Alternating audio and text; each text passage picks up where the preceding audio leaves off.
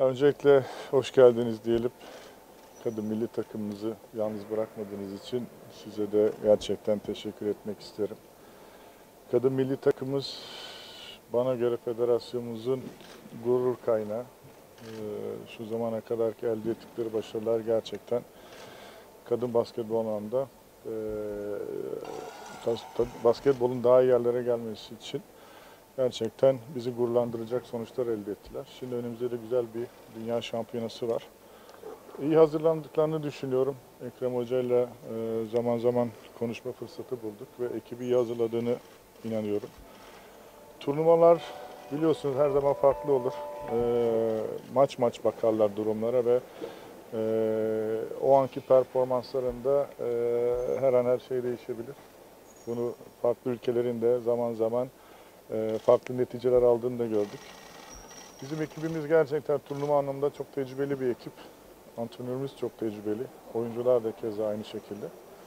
Dediğim gibi inşallah güzel bir atmosfer olur. Ee, orada bizi gururlandıracak, ülkeyi gururlandıracak bir başarı elde ederler ve e, Türk basketbolunu, kadın basketbolunu tekrar daha iyi yerlere, daha e, çoğul kitlelere ulaşabilmesi için e, bu tip başarılar çok önemlidir. Dediğim gibi inşallah tüm ülkeyi gururlandıracak bir başarı elde ederler. İkinci olursak e, Amerika ile eşleşme ihtimalimiz çok yüksek. Tabii maç maç bakacağız dediniz ama e, burada da bazı hesaplamalar var. Siz bunlarla ilgili ne düşünüyorsunuz? Şimdi biz yönetim olarak doğal olarak her zaman en iyi e, isteyeniz. E, çünkü bu takımı hak ettiğini düşünüyoruz. Ama e, şu anda takım başında bir antrenör var. Doğal olarak da e, o oyuncularla bizden daha çok zaman geçiriyor. Doğal olarak ki o kararı onlar verecektir ama dediğim gibi önemli olan bizi orada gururlandıracak bir basketbol sergilemeleri.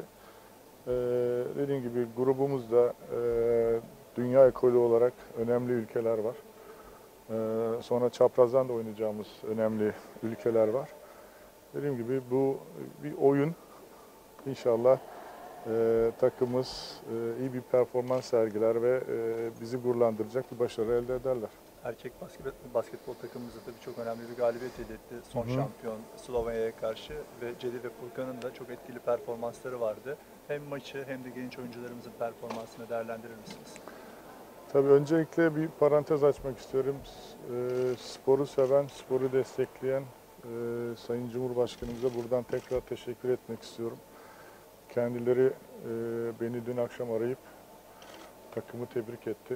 E, ve ben de bunu bütün takıma ilettim ve hepsi çok mutlu oldu. Bu anlamda tekrar e, sporu ve sporcuyu destekleyen e, Sayın Cumhurbaşkanımıza huzurlarınıza tekrar teşekkür etmek istiyorum. Ee, Erkek milli takımımız gerçekten geçen seneden beri bana göre güzel bir atmosfer e, yakaladıklarını düşünüyorum. Eksiklerimiz vardı. Özellikle Ersan katılamamıştı geçen sene. Bu sene dahil olmasıyla gerçekten takıma çok büyük değer kattığına inanıyorum. Cedi ile Furkan geçen seneden beri zaten özgüvenleri her zaman e, yükselen arkadaşlarımızdı. Nitekim de özellikle son iki maçta da bunu çok net bir şekilde gördük şansı verilen herkes sanırım e, layıkıyla görevini yapmıştır. Ege Arar e, ilk beş başladı son iki maçta ve kendisine düşen görevi çok iyi yaptığını inanıyorum.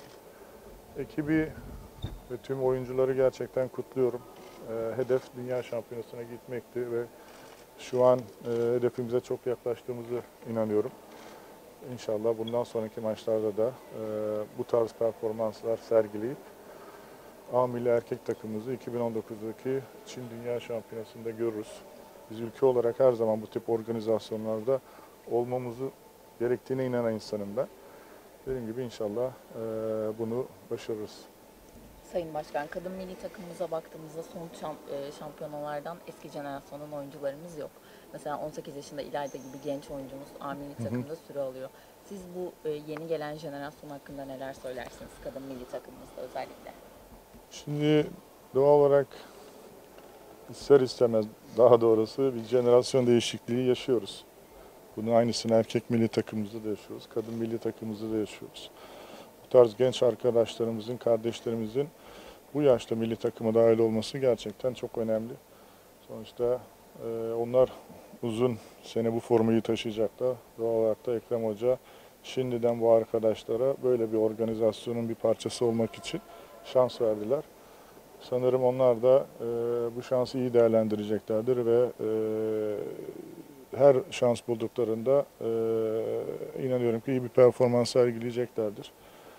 Dediğim gibi geleceğe baktığınızda e, federasyon olarak altyapılarımızın iyi olduğunu, genç jenerasyona sahip olduğumuzu söyleyebiliriz. E, bu, bu, bu bizi gerçekten çok e, heyecanlandırıyor. Sonuçta gerek kadın milli takımımızdaki İlayda gibi kardeşlerimizin 18-19 yaşında olması, daha sonra erkek milli takımımıza bakıyorsunuz, Cedi ile Furkan gibi 21-23 yaşındaki arkadaşlarımızın olması uzun yıllar A milli takımımızda e, bizi gururla e, temsil edecekler. E, o yüzden e, herkese gerçekten gönülden teşekkür etmek istiyorum. Milli takıma sahip çıkan, buranın bir parçası olmak isteyen herkese gerçekten kutluyorum. E, kimi çağırdıysak tereddütsüz herkes geldi. Önemli olan budur. O yüzden e, bütün sporcular kardeşlerimize teşekkür ediyorum. Biz de teşekkür ederiz. Sağ olun. Görüşmek üzere.